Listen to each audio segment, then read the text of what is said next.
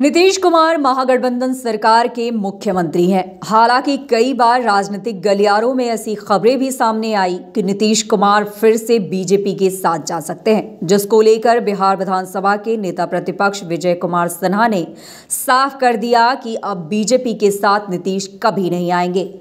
दरअसल विजय सिन्हा ने एक मीडिया को दिए इंटरव्यू में कहा था कि बीजेपी के साथ नीतीश कुमार अब कभी नहीं आ सकते।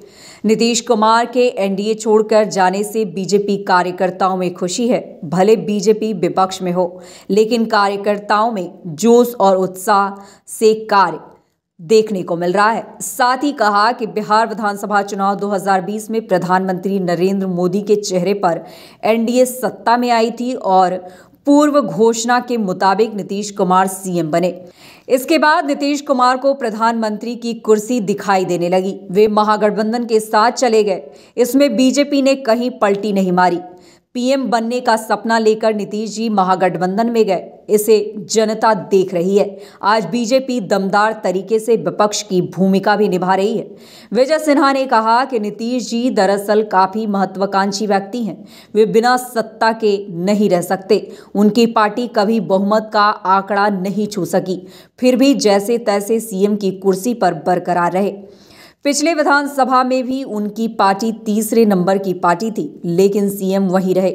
चुनाव से पूर्व बीजेपी ने घोषणा की थी, ज़्यादा सीट आने के बावजूद हमने अपने वादे के मुताबिक उन्हें सीएम बनाया, लेकिन वे फिर उसी राजद के पास पहुँच गए, जिसके कार्यकाल के जंगल राज से बिहार को बाहर निकालकर हम लोग यहाँ लाए थे। साथ ही कहा कि इतना तो जान लीजिए अब बिहार की राजनीति में नीतीश कुमार अप्रासंगिक हो गए हैं। कुछ महीनों के बाद जेडीयू नाम की राजनीति पार्टी देखने को नहीं मिलेगी। हाल में ही विधानसभा उपचुनाव के परिणाम के साफ़ संकेत दे दिया है कि जेडीयू अब इतिहास की बात रह गई है। अगले चुनाव में बीजेपी और राजद ही रह जाएगी। नीतीश जी खुद अपना उत्तराधिकारी तेजस्वी यादव को मान चुके हैं। सार्वजनिक तौर पर वे कह चुके हैं कि अब तेजस्वी यादव को आगे बढ़ाना है। क्या जेडीयू में ऐसा कोई नेता नहीं है जिससे आगे बढ़ाया जाए?